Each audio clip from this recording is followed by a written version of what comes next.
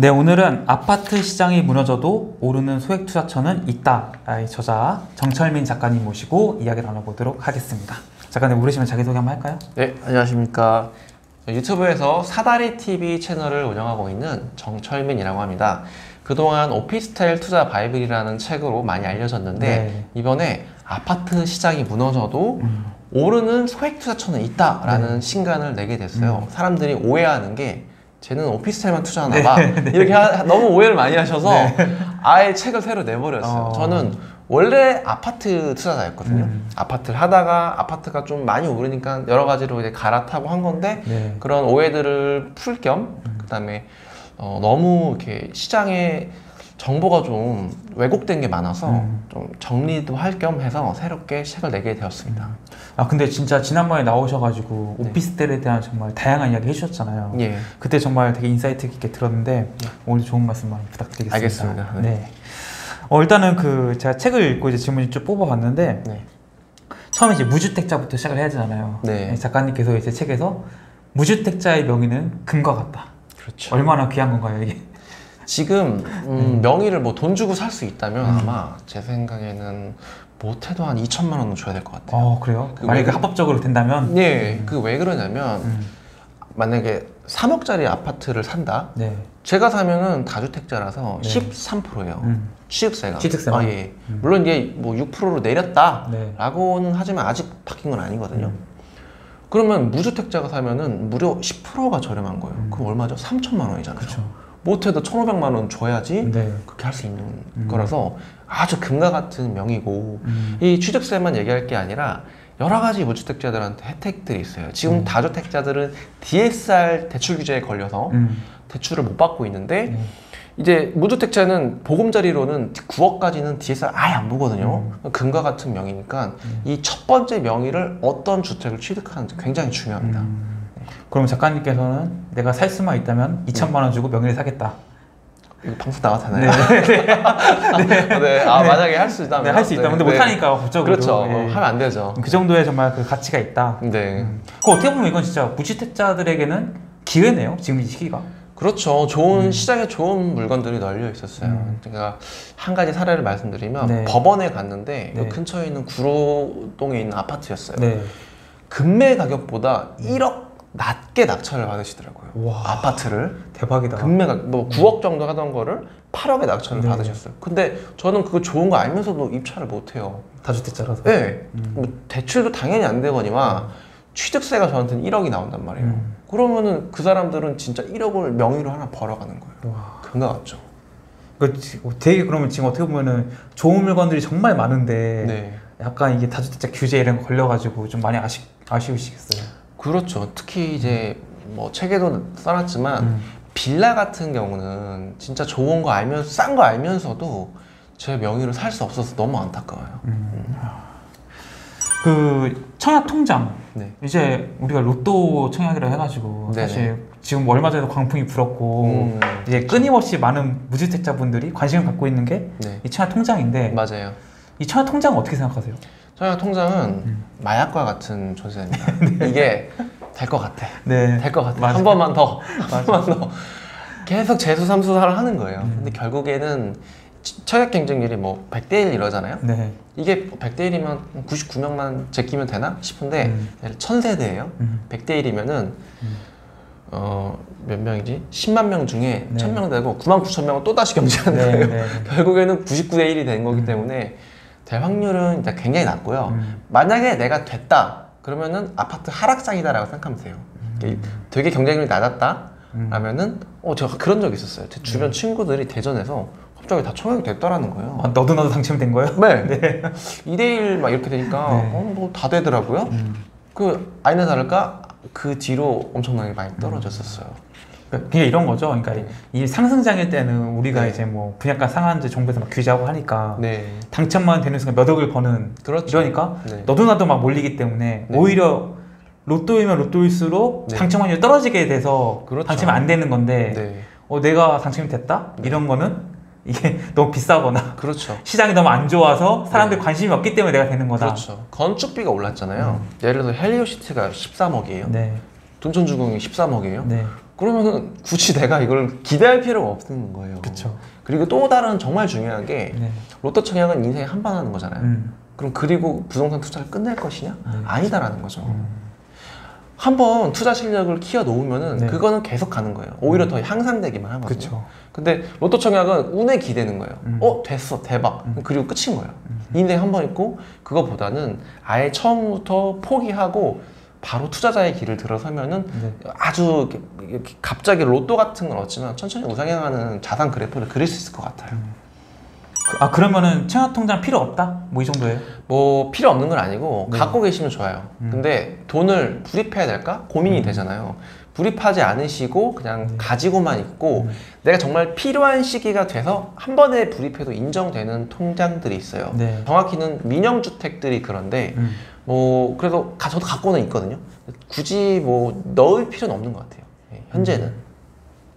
그럼 작가님께서는 지금 되게 굉장히 젊은 어떻게 보면 좀 어리다는 생각이 드는데 네. 젊은 나이에 네. 다주택자의 삶을 살아가고 계신 거잖아요. 그렇죠. 부동산 공부 처음 어떻게 하셨어요? 처음에는 누구나 다 똑같을 거예요. 네. 신혼집을 구하다 보니까 음. 집이 정말 필요해서 네. 그래서 이제 부동산 공부를 하다 반- 하- 하게 됐는데 네. 그렇다고 관심이 없었던 건 아니에요 처음부터 음. 제가 이제 원래부터 부동산 책을 많이 읽기도 했고 막 네. 강의 같은 데도 쫓아다니고 했는데 네. 사고 나서 보니까 오르는 게 보이는 거예요 음. 아 이렇게 투자를 하는구나 혹시 그럼 저렇게 투자하면 어떨까 했는데 이미 그렇게 하고 있는 사람들이 있었던 거죠 음. 그렇게 해서 투자를 하게 됐는데 음. 문제는 사회초년생은 시드머니가 없어요 음. 시드머니가 없는데 어떻게 뭐 서울 아파트 하다못해 대부분 10억인데 어떻게 그 10억짜리를 갭 투자를 할 거예요? 못 네. 하잖아요. 처음에는 좀 소액으로 할 수 있는 지방 아파트라든가 음. 뭐 빌라라든가 오피스텔 이런 쪽으로 시작을 해야 돼요. 하다못해 뭐 경매를 하거나. 음. 저는 정말 운이 좋았던 게 어, 지방에서 신혼집을 시작했기 때문에 음. 오히려 저 낮은 금액대로 부동산 투자에 입문할 수 있어서 운이 좋았던 것 같아요. 그, 음. 그런 부분에서는. 그럼 첫 신혼집을 내 집 마련으로 시작하신 건가요? 아니면? 그렇죠. 그렇죠. 어. 영끌했죠. 솔직히 말씀드리면. 네. 영끌했는데 돈이 없잖아요. 네. 영끌 투자할 돈이 네. 또 영혼을 또 이렇게 만들어 추려대니까 또 네, 영혼 나오죠. 아, 영어를 계속 추렸더니. 예, 예. 여기저기서 이제 영혼을 또 끌었더니 또 음. 되더라고요. 음. 네. 그럼 그때 몇 년도였어요, 그때가? 그때가 2016년도였던 것 같아요. 어, 그럼 이제 그때 막 이제 부동산 조금씩 올라가던 그런 시기였네요. 예, 운이 좋았다밖에 할 수 없어요. 그럼 그때는 뭐 내가 이거는 그냥 내 집 마련을 무조건 시작하, 시작하고 해야 된다 했어요? 아니면은 앞으로 오를 것 같으니까 사야겠다, 사야겠다 이거죠? 어, 전자가 맞는 것 같아요. 음. 근데 저는 그거를 잘 몰랐어요, 솔직히. 네, 네. 근데 저희 아버지가 네, 무조건 내 집은 하나 있어야 된다. 음. 어, 청약 바라지 마라. 네. 하고 했던 게 그게 그렇게 됐던 어, 거예요. 다 적중하셨네. 예, 예. 근데 그게 아마 아버지가 이제 좀 경제에 관련된 분야에서 일하다 보니까 음. 인플레이션에 대한 거를 어렴풋이 저한테 알려주신 것 같아요. 음, 왜냐면 자산이라는 게 오르락 내리락 부침은 있지만 결국에는 인플레이션에 따라서 우상향하니까 네. 자가 정도는 있어야 된다 음. 했던 거죠. 지금 이제 다주택자로서 임대 사업을 하고 계시니까 네, 이 전세 가격에 뭔가 변화랄까? 이것도 좀 많이 이제 아실 것 같아요. 네, 네. 전세 가격이 언제 오르고 언제 떨어지나요? 전세 가격은 정확하게 말씀드릴 수 있는 게 네. 공급에 좌지우지돼요. 공급. 예, 여기서 말하는 공급은 네. 뭐 신축 입주 물량이 이제 대다수인데 네. 예를 들어서 헬리오시티가 입주를 한다 만 세대 가까이 음. 그러면 그 주변은 그냥 전세 시장이 마비가 되는 거예요 최근에도 개포동의 그 아, 프레지던스 자인가 아무튼 음. 거기도 입주한다고 하니까 강남 주변 그 전체 전세가 마비가 됐었거든요 음. 아파트뿐만 아니라 뭐 three room 빌라까지 네. 전세 가격에 가장 예민하게 반응하는 게 바로 입주 물량입니다 음. 두 번째는 금리예요 금리 금리. 예. 왜 금리냐면 대부분의 임차인들이 전세 대출을 받고 들어와요. 그만큼 요즘은 전세 시장이 금융화가 많이 되어 있어요. 음. 그런데 금리가 올라 버리네. 그러면은 어 어 하다가 내 거주 비용 실제 내가 은행에 지불하는 비용이 두 배가 돼 버리는 거예요. 음. 실제로 두 배가 되니까 월세가 더 싸지는 거예요. 네. 내가 이자 100만 원 내던 거 월세 150보다 싸다고 생각해서 들어갔는데 음. 200이 되는 거예요. 저 음. 대출 이자가. 그러면은 이 집을 그냥 매물로 내놓고 그냥 이사를 나가버립니다. 음. 월세 가격이 더 올라버리고. 음. 그래서 금리에 정말 전세 가격이 아주 예민하게 반응한다. 네. 근데 작년 12월에 엄청나게 많이 올랐잖아요. 네. 그러다 보니까 어, 시장의 유동성도 많이 줄어들고 음. 금리가 올라버리다 보니까 사람들이 대출을 안 받아요. 음. 그래서 더 임대인들은 역전세 막 터지고 있는데 네. 대- 전세 임차인이 안 구해지니까 폭락했던 거예요. 그럼 이제 우리가 뭐 흔히 말하는 갭 투자를 할 때는 항상 이 지역에 공급 물량이 늘어나는지 줄어드는지 꼭 확인을 해야겠네요. 그렇죠. 아파트나 오피스텔은 한번 딱 건축 그 승인을 받으면은 네. 짓는데 2년에서 3년은 걸리거든요. 근데 빌라는 또 그런 게 또 없어요. 6개월이면 뚝딱 짓거든요. 맞아요, 맞아요. 그래서 이제 어쨌든 아파트나 오피스텔 투자할 때만큼은 조금 미리 알고 투자를 할 수 있다. 음. 입주 물량을. 음. 그 2년 뒤에 여기가 지어질 게 많으니까 배제한다거나 네. 처음 선택할 때부터 좀 네. 고를 수 있겠죠. 음. 그 혹시 이제 우리가 이제 요즘에 좀 부동산이 뭐 어떤 방향성을 좀 가지고 논란이 많잖아요. 네. 그러니까 어떤 전문가들은 이제 오른다. 네. 어떤 전문가는 다시 또 이제 떨어질 거다. 그렇죠. 이 상승 하락을 좀 미리 알 수 있는 뭐 지표 같은 것도 있을까요? 이제 저는 그것도 마찬가지로 공급량이라고 얘기를 해요. 음. 근데 첫 번째가 사람들이 입주 물량만 생각을 해요. 신축 네. 입주 물량. 네. 그런데 매도 물량도 물량이거든요. 음. 어. 예를 들어서 저희 부모님이 서울에 있는 집을 팔고 네. 경기도 외곽으로 내려가셨어요. 음. 그럼 그 집이 하나 비는 거잖아요. 음. 거기에 사람이 들어가 살 수 있단 말이죠. 그럼 매도 물량까지 포함시켜서 봐야 된다는 네. 거예요. 그래서 그것들을 그러니까 입주 물량과 매도 물량을 믹스하면 음. 앞으로 서울에 얼마나 빈집이 생기는지 알 수 있어요. 네. 그러면 이제 가격이 오를까 내릴까도 알 수 있고 음. 두 번째는 매, 그, 그 매도 물량이 선행하는 게 네. 거래량이고 거래량보다 이제 선행하는 게 음. 시장에 매물이 얼마나 나와 있냐 음. 매물의 개수 그런 것들을 미리 알 수 있다면 음. 어, 아무래도 시장 예측하는데 도움이 되죠. 그 갭매우기라는 단어를 이제 소개시켜 주셨잖아요. 네. 이 갭매우기는 우리가 어떻게 이해하면 좋을까요? 이렇게 큰 쟁반에 네. 물이 가득 차 있어요. 네. 근데 제가 빨대를 탁 꽂아서 여기를 쭉 빨면은 네. 어, 빨대 꽂은 데만 낮아지는 게 아니라 네. 그 주변까지 이렇게 천천히 낮아지잖아요. 음. 그렇죠? 그래서 갯매우기도 똑같아요. 강남이 딱 사람들이 돈이 들어가면 음. 주변으로 퍼져 나가는 거예요. 음. 그런 식으로 투자를 하면은 굉장히 투자를 예측하는데 쉽다라는 네. 거죠.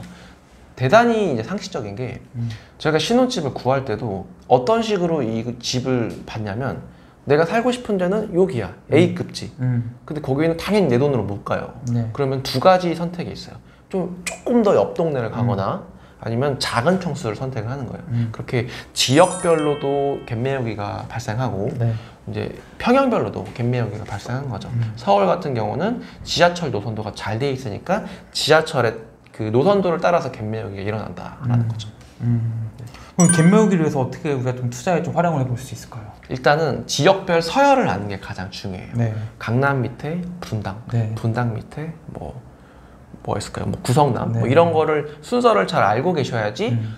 강남이 오르면은 분당을 사고, 음. 분당이 오르면은 구성남을 가서 사고, 음. 이런 식으로 미리 기다리고 있는 거예요. 음. 그러려면 먼저 1급지를 항상 모니터링 해야겠죠. 네. 내가 살 지역이 아니겠지만, 네. 그래도 항상 모니터링 하고 있다가, 어, 여기가 좀 반등하는 것 같네? 음. 돈이 좀 들어오는 것 같네? 음. 하면은 재빨리 가서 음. 다른 지역을 사는 거죠. 강동구라든가, 음. 뭐, 뭐, 동작구라든가, 네. 이런 데로 갈 수 있겠죠. 아 그 이제 상승을 할 때는 이제 예를 들어서 강남이 오르면은 이- 이제 말씀하신 갭 매우기에 의해서 네. 이제 뭐 판교나 이런 게 뭐 뒤따라 오른다 할게요. 네. 근데 만약에 하락을 했다. 네. 그 이때는 어떻게 움직이나요? 역순입니다. 정말 슬프게도 네. 없는 자코부터 빠집니다. 제가 이번에 철 이번에 하락장이 왔잖아요. 네. 철저하게 느꼈던 게 음. 동탄이 이제 뭐 네. 강남보다는 그렇게 선호되는 그쵸. 입지는 네. 아니잖아요. 동탄은 막 40%, 50%씩 빠지더라고요. 음. 그런데 강남은 뭐 강남도 빠지긴 했지만은 네. 그 정도로 많이 빠지진 않더라고요. 음. 너무나 당연한 게 만약에 10개의 집을 가지고 있어요. 네. 하나씩 팔아야 돼요. 네. 그러면 안 좋은 거부터 내놓게 됩니다. 그렇죠. 고소업을 칠 때도 그렇게 그쵸. 치잖아요. 네. 안 좋은 패부터 내놓는다고. 그렇죠. 왜냐면 강남권 팔기 싫거든. 그러다 보니까 동탄에 매물들이 계속 쌓이는 거예요. 음. 서로 경쟁을 합니다. 음. 너무 자- 당연, 당연한 이치. 음. 그런데 재밌는 거는 10개를 금매를 내놓으면은 팔리는 거는 강남만 팔려요. 네. 우량 자산만 팔린다라는 네, 네. 거죠. 아, 그러니까 이제 이제 네. 우리가 막 10개 갖고 있으면은 네. 이제 좋은 건 나, 내가 아까우니까 이제 그렇죠. 안 팔게 되고 그렇죠. 이제 내가 생각에 나쁜 것부터 내놓게 되는데 네. 그 이게 생각이 다 똑같아요. 다 똑같은 네. 거죠. 그러니까 내거 어떻게 팔아야니까 가격 경쟁이 또 내려가기 시작하고 그렇죠. 그러니까 먼저 빠지고 많이 빠지고 그렇죠. 네. 어, 안, 근데 저 더 중요한 거는 안 팔려요. 아 거래도 안안 된다는데. 팔려요. 네, 어차피 안 팔려서 네. 제일 좋은 것부터 팔게 될 겁니다. 음, 아, 이렇게 그렇게 막 경쟁적으로 가격을 내리는데도 네. 안 팔리더라. 네. 그렇죠. 네. 아, 아, 그럼 그 작가님께서는 뭐 집이 많으시니까 네. 이번 하락전 어떻게 대응을 좀 하셨나요? 다행인 게 저는 아파트가 어느 정도 추락할 거라는 거를 예측을 하고 있었어요. 음. 그래서 21년도 겨울부터 네. 아파트 떨어질 겁니다. 사지 마세요라고 말씀을 드려서 음, 많이 매각을 했어요. 음, 아파트는 이제 어, 다섯 손가락으로 살 수 있을 정도만 가지고 있고 음, 그 자산들을 이제 오피스텔이라든가 음. 좀덜 오른 자산으로 많이 옮겨놨죠. 음, 뭐 불행인지 다행인지 오피스텔은 거의 떨어지지 않았어요. 네. 네. 그래서 만약에 그 자산들을 쭉 아파트에 넣었다면은 아마 반토막이 되지 않았을까 음. 싶은데 그런 부분은 많이 대응을 했고 네. 또 정부에서 너무 떨어지다 보니까 음. 여러 가지 또 대출 완화를 해주더라고요. 그렇죠. 자연스러운 현상인 것 같아요. 어떻게 보면. 근데 중요한 거는 전세 만기가 다가오잖아요. 음. 그러면 보증금을 내줄 대비는 되어, 되어 있어요. 네. 미리미리 임차인이랑 연락하고 음, 대출은 어디서 어떻게 받아올 것인지 자금 계획을 세워야 되고 음, 제일 중요한 거는 처음부터 무리한 투자를 하지 말아야죠. 음. 네. 작가님께서는 하락장을 어쨌- 어쨌건 잘 견디고 계신 건데 네. 뭐 요즘에 하고 있는 고민 같은 것도 있어요. 이제 대출 규제를 얼마나 풀어줄 것인가 음. 그런 것들을 좀 눈여겨 보고 있어요. 이미 지금 전세 사기가 너무 심하다 보니까 네. 대출 완화는 해줬는데 아직까지 완전하게 풀린 건 아니에요. 음. 아주 일부분만 좀 풀어준 건데 음, 뭐갭 투자뿐만 아니라 그냥 기본적으로 대출을 7, 80%씩 해주는 음, 그런 상황이 돼야지 음, 저도 다음 임차인들 나간다고 할 때잘 음. 이렇게 대- 내줄 수 있고 월세로 또 전환을 하고 싶거든요. 네. 제 요즘 최대 고민은 네. 이 전세들을 어떻게 월세로 잘 전환할 것인가. 음, 그러면 대출을 잘 받아야 되는데 네. 그런 것들을 좀, 좀 연구를 하고 있죠. 아 근데 요즘에 오히려 그 역전세 난 때문에 네, 월세 선호도가 좀 높아졌다고 좀 뉴스 본 것 같거든요. 맞습니다. 네. 제가 작년에 오피스텔 월세 오른다라고 말씀을 드렸는데 네. 뭐 70만 원 하던 게 85만 원이 됐어요. 음, 85만 원 하던 건 100만 원이 되고 네. 15%에서 20%씩 올렸어요. 음. 전세 사기 영향 때문에 임차인들도 전세 보증보험이 됐는데도 불구하고 음. 그냥 월세로 전환합니다. 그냥 싫은 거죠. 그렇죠. 그래서 덕분에 월세 현물이 씨가 마르고 음. 또그 전세 사기뿐만 아니라 금리가 올라 버리니까 아까 앞서 말씀드렸던 것처럼 전세에서 월세로 전환하는 게 그냥 경제적으로도 더 이득이 되는 거예요. 음. 그래서 본 자연스럽게 월세는 오르는데 입주 물량이 없다 보니까 음.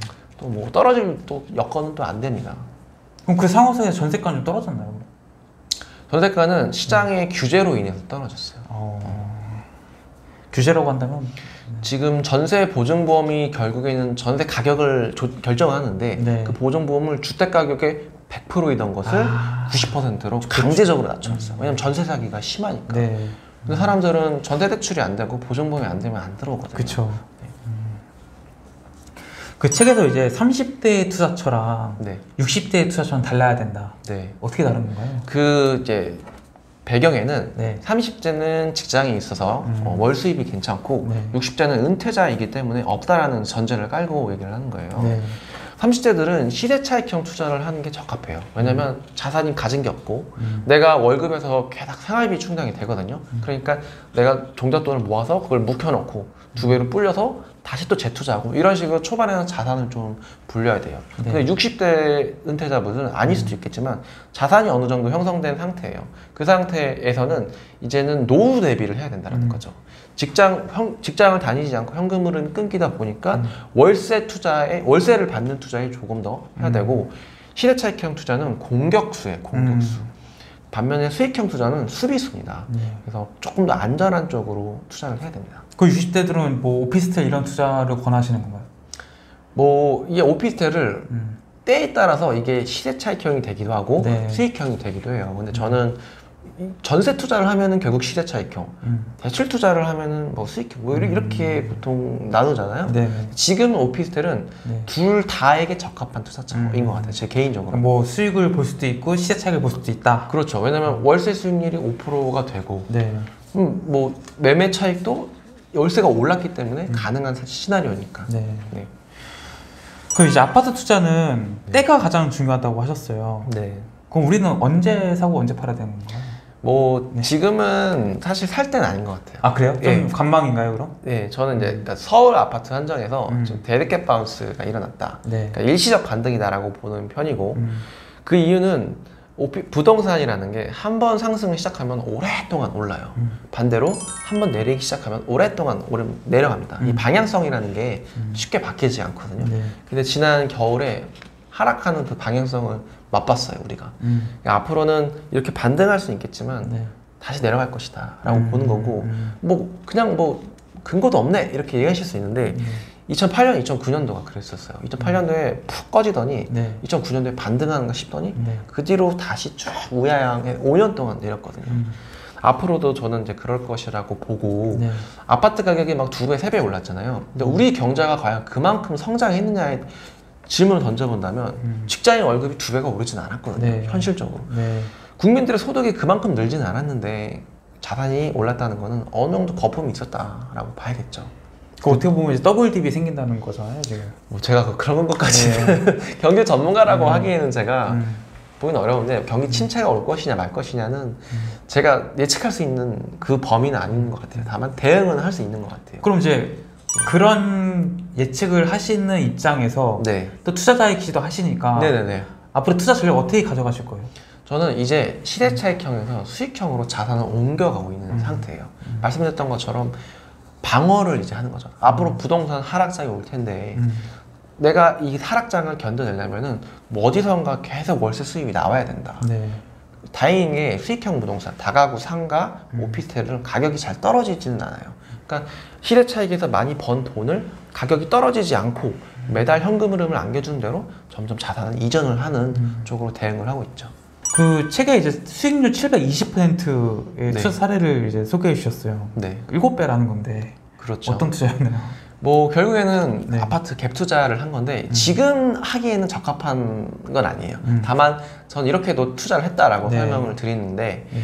대전에 있던 아파트를 이제 저는 신혼집이 작았으니까 네. 조금 큰 데로 넓히고 싶었거든요. 음. 미리 사놓을 수도 있잖아요. 네. 오르기 전에 미리 사자 라고 했는데 실거주하는 입장에서 고르다 보니까 네. 학군 같은 것까지 따지게 되는 거예요. 음. 근데 음, 이 720% 수익을 냈던 아파트는 학군이 굉장히 좋은 아파트였어요. 음. 근데 맞은편에 있는 아파트는 도로 하나 차이인데 네. 초등학교가 달라지거든요. 어. 어, 그거 하나 차이로 수익률이 현저하게 많이 차이 났다. 음. 투자금은 똑같았어요 당시에. 네, 네. 근데 결과적으로 봤을 때 쟤는 7억까지 오르고 음. 다른 애는 6억까지밖에 안 오르더라고요. 음. 그 차이를 내는 거는 학군. 네. 아파트는 사실 어디를 사도 오르면 다 같이 올라요. 음. 그런데 내가 위기에서 팔고 싶을 때에는 음.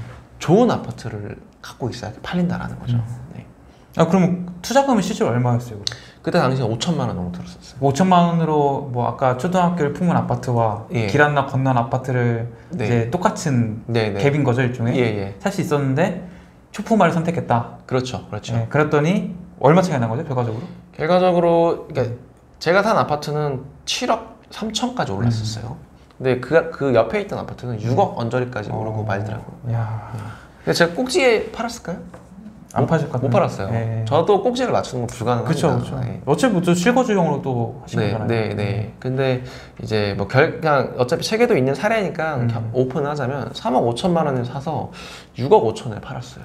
와 근데 제가 들어간 돈은 5천만 원. 대박이다 진짜. 네. 네. 대박이죠. 네, 네, 근데 지금 이 사례를 보고 투자를 하면은 안 됩니다. 네, 그죠. 아파트는 네. 때가 중요합니다. 입지가 중요한 게 아니라 때가 더 중요한 겁니다. 그러니까 투자의 근거를 봐야죠 지금은. 그죠? 네, 네, 네, 이거 사라는 게 아니고. 네. 그럼 작가님께서 이제 아파트 투자 뭐 공식 뭐 네. 나만의 좀 뭐가 네. 관점 네, 네. 어떻게 하시나요? 제가 만든 공식은 아니에요. 음. 근데 부동산 카페에서 많이 쓰는 부산 부동산 카페에서 많이 쓰는 공식인데 네. 부 역대 평신 초 이겁니다. 네. 웃기죠? 브랜드, 네. 역세권, 네. 대단지, 네. 그다음에 평지, 네. 신축, 네. 초포마. 아. 아, 이렇게 여섯 개를 부산 사람들은 따지더라고요. 음. 서울에서 안 따지는 게 평지를 그렇게 안 따지거든요. 그쵸. 부산은 이름에서 부산이잖아요. 맞아, 산 산이잖아요. 많아요. 산이 엄청나게 많아요. 네. 그러다 보니까 평지가 되게 귀하거든요. 음. 뭐 강남은 죄다 평지지만 음. 그래서 좀 평지를 좀 따지는 것 같더라고요. 음. 근데 이번에 장마가 엄청나게 네. 왔잖아요. 네.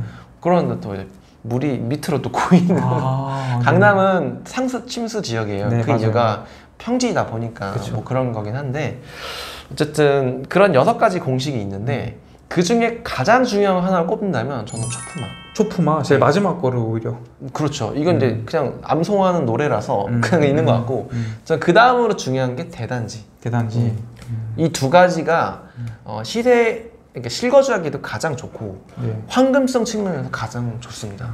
황금성이 부동산의 제일 원칙인 거예요. 그러니까 초프마하고 대단지만 보더라도 큰 실패는 없다. 그렇죠. 네. 오히려 역세권보다 저는 초품화가 더 중요한 것 같아요. 어, 그래요? 서울에도. 음. 네.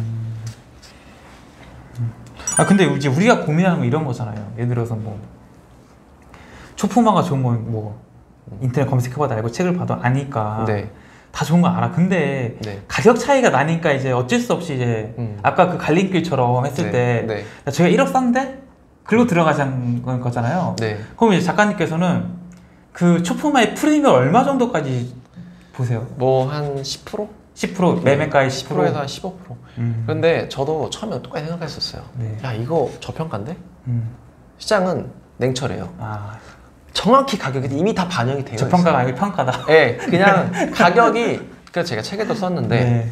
좋은 아파트를 알고 싶잖아요. 음. 그 동네에서 평당가 제일 비싼 거 찍으면은 이유가 다 있어요. 음. 뭐 주차 대수가 더 널널하다든가, 네. 뭐 갈, 조경 관리가 잘 된다든가, 어떤 것에서 다 이미 가격이 다 매겨져 있어요. 그래서 그렇게 가격에 저평가된 거, 그러니까 어떤 지역을 결정을 했으면 그 지역은 어차피 흐름은 다 같아요. 네. 그 그냥 제일 비싼 거 사면 제일 좋은 거예요.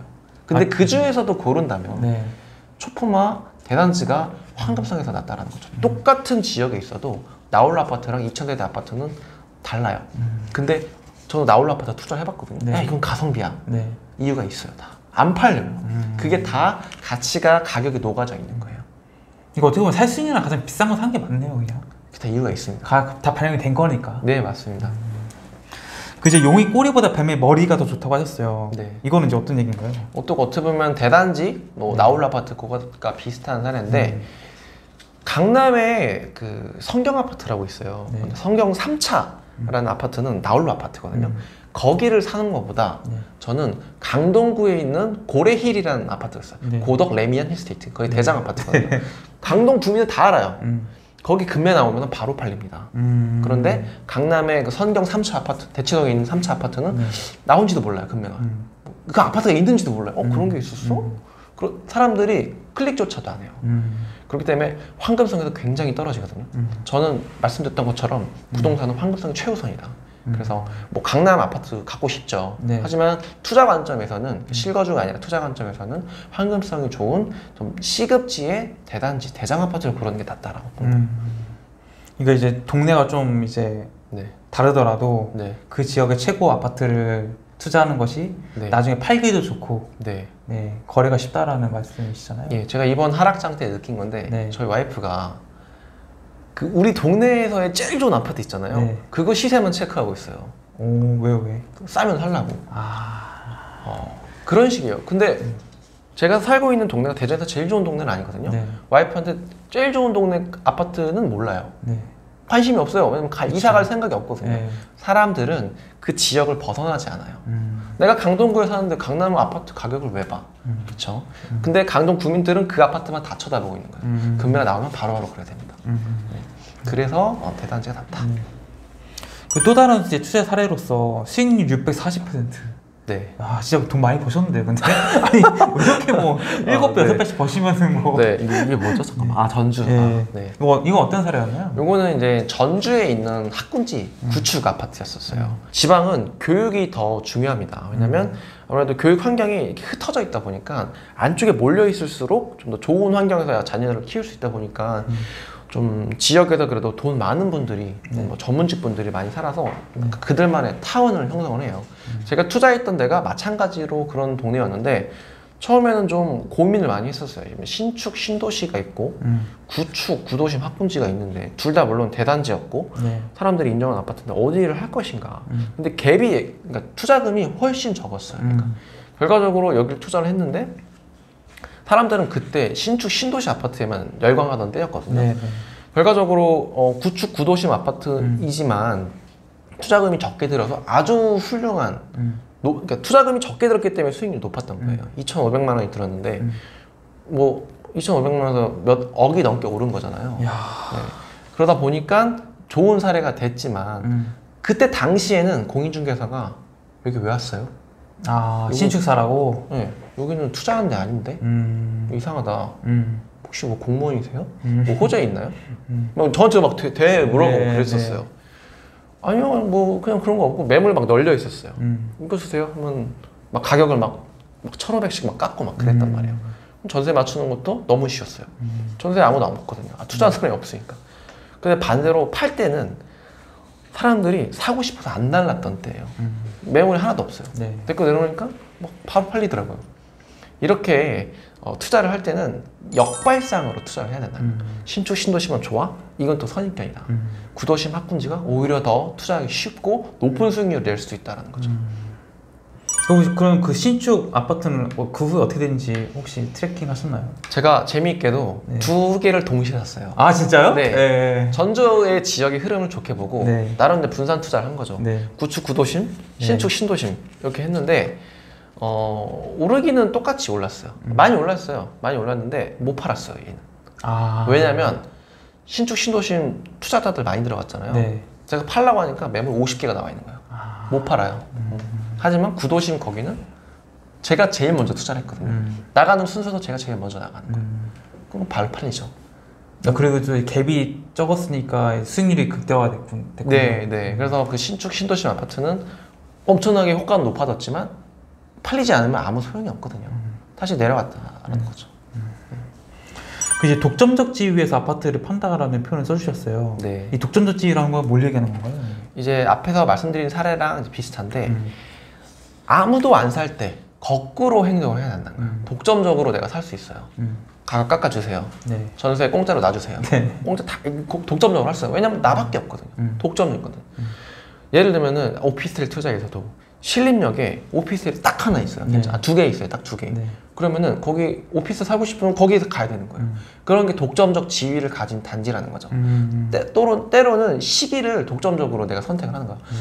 아무도 투자하지 않을 때. 네. 예를 들면은 뭐 작년 12월에 동탄에 산 사람이 아무도 없었어요. 음. 그때 가서 샀으면은 그냥 매물 널려 있으니까 하는 거예요. 음. 그때 사가지고 지금 팔면은 또 지금 또 사람들이 살라고 안달이거든요. 그쵸. 또 그럼 쉽게 팔 수 있는 거예요. 거꾸로 행동한다면 그게 가능한데 시장이 공포에 질려 있을 때는 그게 진짜 쉽지가 않아요. 맞아요. 훈련이 되어 있어요. 그래서. 이게 독점적 지위라는 게 이제 뭐 약간 좀 특성 같은 거네요. 이제 뭐 다른 아파트는 다 초등학교에 못 품었는데 이 아파트 품고 있다라든지 그렇죠. 뭐 아니면은 다른 아파트 다 나오는데 이 아파트 네. 대단지라든지 그렇죠. 그렇죠. 음. 시기적으로 독점적이거나 음. 아니면 뭐 입지적으로 독점적이거나 음. 한 가지 더 사례를 말씀드리면 네. 그 전주 신도시 아까 했잖아요. 네. 그 단지를 제가 턱 집어서 투자했던 이유가 음. 전주 시, 그 신도심에 전부 다 지하 주차장이 연결이 아, 연결은 되어 있는데 음. 지상에 차가 다니는 아파트밖에 없었어요. 음. 저는 이제 애를 키우는 부모 입장에서 지상에 차가 안 다닌다는 게 엄청 큰 메리트인 걸 알거든요. 음. 그 아파트만 그게 안 돼 있는 거예요. 어. 그래서 그걸 샀죠. 음. 그랬더니 어, 역시나 임차인을 구한다거나 네. 시대가 이렇게 거래가 그나마 좀 활발했던 음. 것 같아요. 네. 네. 그, 그 재건축 투자 원리에 대해서 여쭤보고 싶은데 네. 재건축 투자는 어떻게 하는 건가요? 이게? 재건축은 말 그대로 신축이 될 거를 기대하고 투자를 하는 거예요. 음. 얘가 신축이 되면은 뭐 20억 정도 할 것 같아요. 음. 근데 지금 재건축이 안 되는 상태에서는 네. 한 10억 정도 음. 한다라고 치면은 음. 어느 정도 될 가능성이 있잖아요. 음. 한 70%될 것 같은데 그러면 한 15억쯤 음. 되는 거죠. 음. 근데 만약에 되면은 네. 그 5억의 차익을 내가 먹는 거예요. 음. 그런데 좀 다른 점은 네. 처음부터 아파트에서 아파트로 가는 거잖아요. 음. 그런 차이가 있다라는 거죠. 음. 그 이게 보통 이제 재건축, 재개발 네. 같이 얘기하잖아요. 이게 네. 이 재건축은 이제 아파트에서 아파트를 얘기하는 거죠. 네. 재개발은 이제 뭐 빌라나 주택이 그렇죠. 아파트가 되는 거고. 네, 네. 그럼 재개발과 재건축 중에서 어떤 걸 더 선호하시나요? 저는 재건축이 더 낫다고 봐요. 재건축이. 네, 왜냐면 아파트는 뭐가 돼도 아파트예요. 네. 근데 재개발은 네. 구역이 만약에 무산이 됐어요. 음. 재개발이 엎어졌어요. 음. 그럼 그냥 빌라예요. 음. 10억짜리였다가 피가 9억에서 그러니까 1억짜리 빌라에 피가 9억짜리였는데 네. 무산이 됐어요. 네. 그럼 1억짜리 빌라가 되는 거예요. 아, 그 피해 다 날아가는군요. 그렇죠. 없어지는 거예요. 근데 예를 들어서 대치동 음마 아파트 뭐 재, 재건축 하려다가 무산이 됐었어요 네, 실제로 네. 그렇다고 해서 그게 아파트는 아파트잖아요 입지도 좋고 음. 그리고 지자체라든가 뭐 서울시에서 네. 이 흉물 같은 아파트를 그냥 방치할 수는 없어요 그렇죠. 그냥 방치하면 무너지거든요 그렇죠. 15층짜리 아파트가 무너지면은 인명피해가 얼마나 어마어마하죠. 그죠 그러니까 이게 아무리 내가 규제를 하고 억눌러도 음. 건축물이 무, 뭐 이런 말 하면 좀 그렇죠 무너질 거 아니에요 언젠가는 음, 그쵸. 그러면 언젠가는 새 아파트로 탄생한다라는 거죠 음. 그리고 또 다른 게 재개발 투자는 시대 파악하는 게 좀 어려워요 계산하는 것도 좀 어렵고 음. 근데 재건축 아파트는 일단 KB 시대가 딱 나와 있어요 음. 그래서 대출이 얼마가 되는지 딱 알고 네. 최근 실거래가 평행발로 쫙 나와 있어서 초보자가 투자하기도 쉬워요 음. 실패할 확률을 봤을 때는 재건축이 적다라는 거죠 음. 그러니까, 그러니까 이제 재건축이 실패할 확률이 훨씬 더 적고 네 그 다음에 뭐 설령 이제 안 되더라도 네. 아파트는 그대로 가져가는 거니까 그렇죠 내가 손실을 볼 가능성도 거의 없다 네네 말씀이시잖아요. 네. 음. 그 재개발 같은 경우에는 이제 뭐 우리가 좀 알아둬야 될 게 뭐가 있을까요? 일단 제일 중요한 게 네. 입주권이 나오냐 안 나오냐 음. 딱지냐 물딱지냐 보통 이렇게 얘기를 하는데 네. 물딱지는 입주권이 안 나온 거를 네. 얘기를 해요 네. 중요한 거는 권리 산정 기준이라는 게 있어요 네. 그 전에 이제 뭐 지어진 거냐 아니냐에 음. 따라서 현금 청산이 되거나 음. 입주권이 나오거나 해요 근데 이거를 뭐 지자체 조례도 알아야 되고 법령도 알아야 되고 음. 골치 아픕니다 그래서 음. 초보자분들이라든가 또는 이제 중개를 잘 모르시는 공인중개사분이 했다가 음. 입주권이 안 나오는 거를 비싸게 사는 경우가 있어요. 음. 그거를 일단 가장 조심하셔야 됩니다. 그럼 이거 어, 어디다가 물어봐요? 이 물딱지인지 아닌지. 그래서 내가 스스로 알아봐야죠. 뭐 어, 그러니까 뭐, 뭐 어떤 기관이나 뭐 문의를 해야 될 거 아니에요 이게. 그래서 네. 서울시에 보면은 뭐 그 구청에 네. 재개발을 담당하는 부서가 있어요. 음. 전화해서 물어봐야 돼요. 권리 산정 기준일이 언제입니까? 네. 그리고 이 건축물 대장을 떼어보거나 네. 뭐 이게 뭐 예를 들면 다가구 주택인데 다세대로 방초계기를 하는 경우도 있어요. 음. 언제 했느냐를 알아야 되는데 음. 그런 조례를 누가 떠먹여주지 않습니다. 음. 투자자 본인이 책임을 져야 돼요. 음. 공인중개사만 믿고 했는데 안 나올 수도 있어요. 네. 그래서 이제 그 관청에 직접 전화를 해서 확인을 해봐라. 네. 그 친절하게 알려주죠. 공무원들이 네. 약간 좀 네. 책임 회피 성향이 많- 많아서 네. 입주권 나와요? 이렇게 물어보면 당연히 대답 안 해주죠. 어, 네. 네. 권리 산정 기준이 언제입니다. 입주권 나와요? 안 나오면 본인이 조합에 물어보든가 음. 알아서 판단하셔야 될 문제다. 음. 라고 그러니까 얘기를 이제 하실 거예요. 뭐 권리 산정 기준일 같은 걸 체크해서 네. 본인이 확인하는 것밖에 없다. 그렇죠. 네. 그 이제 분양권 투자 여쭤보고 싶은데 네. 분양권 투자는 해보셨나요? 아니면 해봤죠. 어, 분양권 음. 어떠셨어요? 어, 최악이었어요. 최악? 왜, 왜, 왜, 왜? 아, 왜냐면 분양권 투자를 했을 때 네. 딱 그 2020년도 710 대책이 터졌었어요. 네. 근데 분양권 투자는 음. 100% 투자자가 참여하는 시장이에요. 음. 실거주자도 물론 하지만 그 사람들도 결국 시세 차익을 뭐 노리고 하는 거란 말이죠.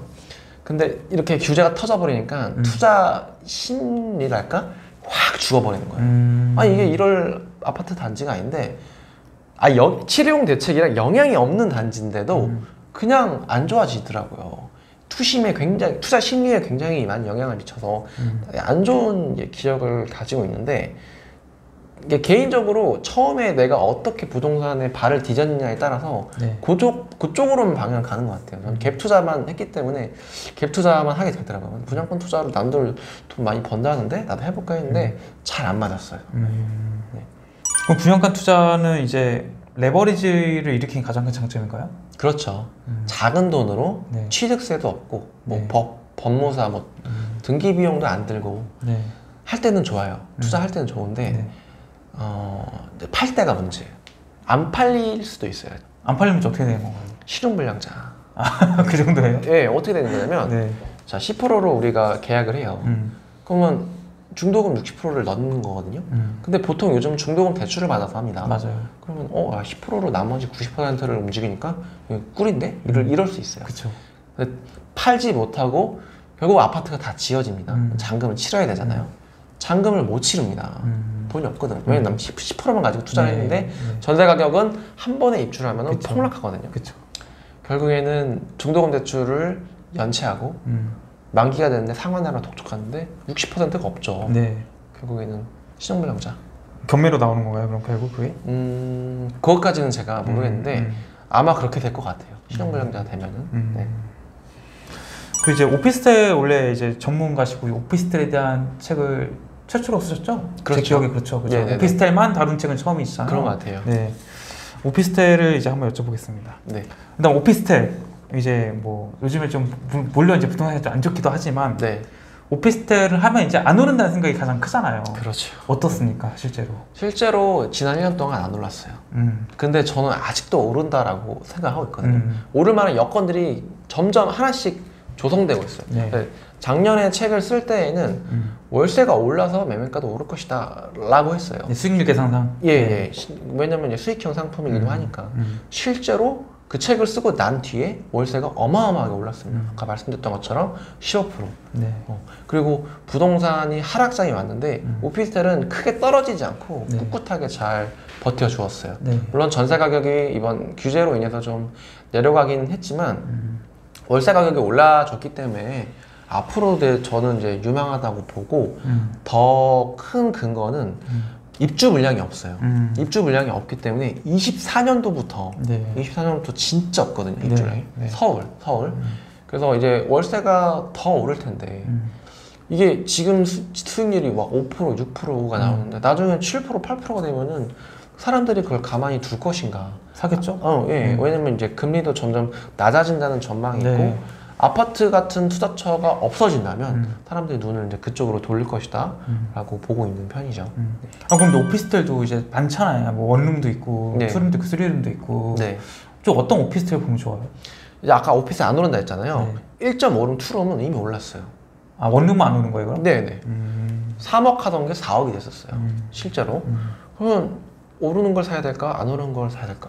음. 고민이 되는데 네. 저는 안 오르는 걸 사는 투자자예요. 왜냐면 독점적 지위라고 말씀드렸죠. 네. 아무도 안 살때 네. 여기 떨어지는 거 왜 사요? 이때 가서 사야 되는 거예요. 그 원룸을 사야겠네요. 그렇죠. 음. 오히려 안 오른 게 가장 호재고 음. 많이 오른 게 악재인 거예요. 네. 앞으로 오를 여지가 나- 없다라는 거거든요. 음. 그냥 아파트 하락장이 올 때 오피스텔이 거의 안 떨어진 걸 보면은 네. 이게 원룸 오피스텔은 바닥이 났다라고 음. 생각이 들더라고요. 작가님께서는 이제 오피스텔이 저평가되어 있다고 생각하시는 거잖아요. 네. 그 이유들은 뭐가 있을까요?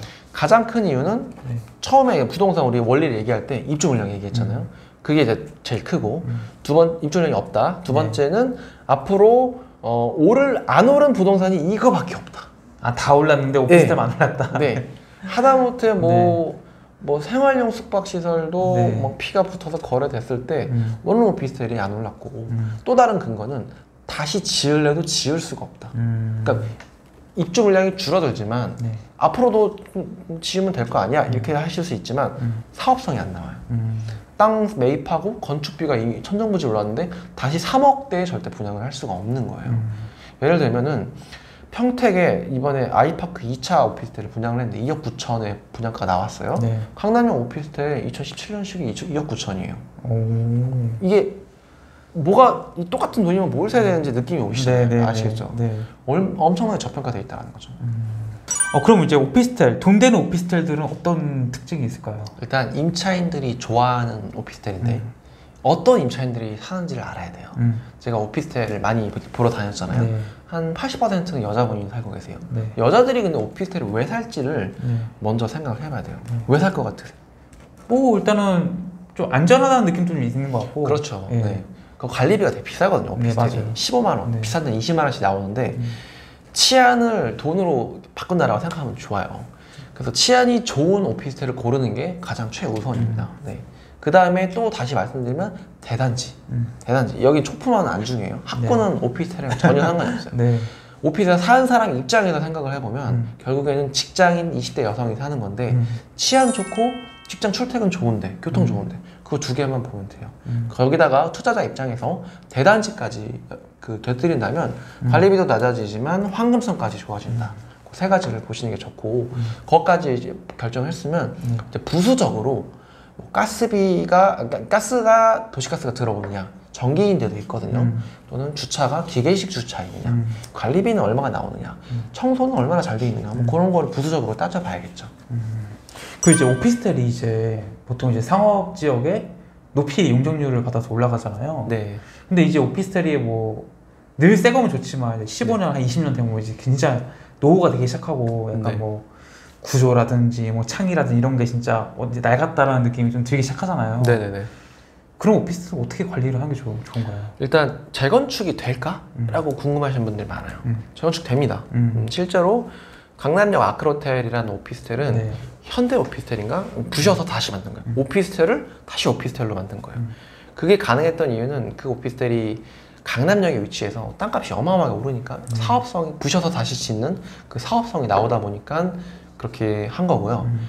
이제 제 생각에는 어, 우리나라 건축 그 수준이 굉장히 좋아요. 음. 그제 생각에 제대로만 짓는다면 30년, 40년은 문제 없어요. 음. 우리가 아파트 살 때 93년식 아파트 잘 살거든요. 네 맞아요. 그거는 뭐라 안 해요. 음. 근데 오피스 10년 넘었다 그러면 경악을 해요. 네. 야 그런 거 사면 안 돼. 네. 왜 아파트는 40년 된 거 잘 사는? 음 아파트는 저보다 나이가 많아요.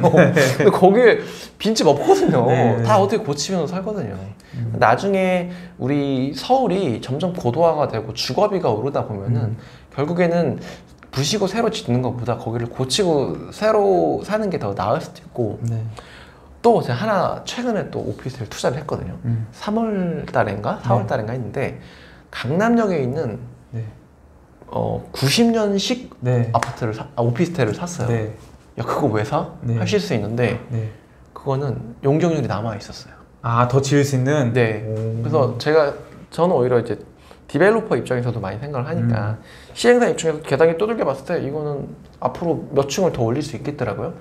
그러니까 오피스텔 넓은 거 하나를 부수면 작은 거 두 개가 나오겠더라고요. 네. 사업성이 나오겠다 싶어서 그것도 최근에 투자를 했거든요. 음. 그런 식으로 따져봤을 때 어, 계산기 두들겨 봐서 용적률이 없는 것들은 부수거나 고쳐서 살아야 되고 용적률이 남는 것들은 재건축을 해서 어, 하실 수 있는 거죠. 그럼 그건 얼마 주고 사셨어요? 되게 놀라운 게 네. 강남역이잖아요. 네. 2억이 안 돼요. 1억대? 1억 9,500. 아 그럼 여기서 월세 얼마 나요? 월세는 얼마 안 나요. 60만 원, 65만 원. 수익률은 얼마 안 되거든요. 네, 네. 그런데 음. 사무실이에요. 음. 오피스텔이지만 주거용보다는 업무용, 업무용인데 음. 어, 뭐라고 설명을 해드려야 돼? 여기보다 훨씬 넓은데 네, 네. 뭐라고 설명해야 될지 모르겠는데 네. 어, 한 뭐 우리가 생각하는 원룸 오피스텔 24제곱미터인데 네. 가구가 없다라고 생각합니다. 싹 음. 그냥 텅 빈 공간이에요. 예. 공간. 일곱 여덟 평 되니까 그랬는데 대지 지분은 훨씬 많아요. 얼마나 있어요 대지 지분이? 제가 정확히 기억 안 나는데 한 평이 넘어가거든요. 오. 근데 강남역 한 평을 2억도 안 되는 돈에 산다면 그렇죠. 저는 사는 게 맞다라고 봐요. 어. 최근에 이제 상가 건물이나 다가구 건물 쪽에도 관심을 가지시는 것 같아요. 네. 왜 이쪽으로 이제 또 관심을 가지게 된 건가요? 근데 다가구 건물은 어, 예전에 매입해 놓은 게 있어요. 아파트를 이제 투자하면서 시대 차익이 나은 걸 그렇게 조금씩 수익형으로 바꿔가고 있었는데 네. 다가구 건물을 운영해 보니까 음. 수익형 부동산이 왜 좋은지 알겠더라고요. 음. 그런데 때마침 주택 취득세 규제가 터지면서 네. 상가 건물에도 눈이 이제 들어가기 시작을 했어요. 근데 이두 가지를 다 투자를 해 보니까 네. 두 가지를 다 투자를 해보니까 네. 좀 관점이 다르더라고요. 음. 다가구는 철저히 수익형으로 가야 되는데 네. 상가 건물은 아무래도 좀 시세 차익형으로도 볼 수 있다. 왜 연예인들 많이 하잖아요. 음. 어, 뭐 100억에 사서 200억에 팔았다더라. 음. 그거를 와, 뭐 쟤는 돈이 많아서 했네 이렇게 생각할 게 아니라 우리 일반인들도 할 수 있어요. 음. 상가 건물을 사서 네. 내가 임차인을 새로 맞추고 음. 월세를 더 받아서 가치를 창출하면은 네. 그 가치만큼 비싸게 팔 수 있는 거예요. 음. 근데 중요한 거는 이런 상가 건물이나 다가구의 특- 공통점은 둘 다 토지를 깔고 있는 거예요. 음. 실제로 건물을 매입하면은 집문서라고 하죠. 집문서가 두 개가 나와요. 네. 네. 건물 거 하나, 땅 문서 하나 네. 이렇게 두 개가 나오거든요. 음. 결국에는 지가 상승으로 시세 차익을 보는 건데 음. 가지고 있는 동안 우리가 어떻게 운영을 할 것인가에 차이가 나는 거예요. 음. 월세를 받으면서 지가 상승까지 노릴 수 있는 게 상가 다가구 투자인 것 같습니다. 아 그럼 다가구 주택을 투자를 하셨다니까 네. 뭐 어떻게 더 좋은 것 같아요? 그러니까 뭐 오피스텔 투자하시고 아파트 투자하시고 다가구도 투자하신 음, 거잖아요. 네네네. 이제 각각의 그 매력과 약간 특성들을 잘 아실 텐데 네. 뭐셋 중에 꼽아보자면 일단은요 네. 돈 많으신 분들은 절대 다가구 하지 마세요. 왜왜왜 왜? 어 스- 시간이 아주 많고 음. 내가 금손이면 제가 추천을 드리겠어요. 네, 네. 근데 수익률이 8%다 좋아했는데 실제로는 6% 이래요. 아, 그리고 관리가 좀 어렵고. 관리가 많이 그리고 주거용이잖아요. 음. 우리가 주거용은 요즘 기대하는 게 싱크대가 있고 에어컨이 있고 보일러가 있고 그렇죠. 바닥 난방이 되고 이런 네. 옵션들을 기대한단 말이에요. 네. 상가는요 그냥 시멘트 맨바닥 맞아요. 생대로 깔아줘요. 네. 그래 네가 알아서 인테리어 해. 음. 상가가 수익률은 상가의 수익률은 진짜 그냥 그대로인 거예요. 음. 4%면 진짜 4%인 거예요. 네. 근데 다가구는 8%인 줄 알았는데 6%고 음. 실제로 내가 고생을 엄청나게 해야 돼요. 분리수거도 저 네. 어, 제도 분리수거하고 왔어요. 아 진짜. 음식물 쓰레기 막 손으로 만지면서 상가는요 전화가 안 와요. 그쵸. 오히려 전화하면 불편해요 임차인들. 맞아요. 네. 건물주의 삶이란 게 참. 네. 그렇습니다. 주택과 상가는 아주 많이 다르다. 그래서 아 그래서 이제 다가구를 가장 비선호하신다. 어 그런데도 불구하고 네. 또또 또 좋습니다. 월세가 많이 나오거든요. 음. 또아 그런데 하나 상가에 또 차이가 있어요. 네. 상가는 네. 코로나 같은 위기가 터지잖아요. 네. 그냥 공실이에요. 그렇죠. 얼마까지? 1년, 2년, 3년, 4년. 음. 쭉 공실이에요. 음. 주거용 투자는요. 가격을 낮추면 누군가는 들어와요. 음. 30만 원이어도 20만 원 하면은 공실이 채워지거든요. 음. 왜냐면 주거는 필수제거든요. 음. 그런 차이가 있어요. 상가는 그냥 사업 접어버리면 되거든요. 음. 그래서 어, 수요 공급 입장에서 봤을 때는 다가구 장점이 있다. 네. 맞죠. 끝으로 이제 구독자분들이 좀 해주고 싶은 말씀이 있으시다면. 아 저는 앞으로 아파트 하락장이 오랫동안 지속될 것 같아요. 음. 근데 사람들은 부동산 이콜 아파트 그쵸. 이렇게만 생각을 해요. 음. 아파트 말고도 많은 투자처가 있거든요. 음. 다가구, 빌라, 상가, 오피스텔 음. 이런 것들도 좀 눈여겨 보셨으면 좋겠다 라는 생각이 들어요. 네. 아파트에서만 수익을 볼 게 아니라 빌라에서도 수익을 볼 수 있거든요. 음. 빌라 안 팔린다고 하죠? 네. 어제 팔았습니다. 어 진짜요? 네, 봤습니다. 와. 시대 차익 봤습니다. 네. 와. 아예 무갭 투자로 봐서 네. 이런 식으로도 여러 가지 상황으로도 투자를 할 수가 있는데 음. 아파트면 너무 매몰되지 마시고 네. 다른 투자처들도 눈여겨 보셨으면 좋겠다. 음. 특히 오피스텔에 주목하셔라. 서울 원룸 오피스텔. 음. 네. 앞으로 그 아파트보다는 수익형 부동산에 조금 더 네. 집중했으면 좋겠습니다.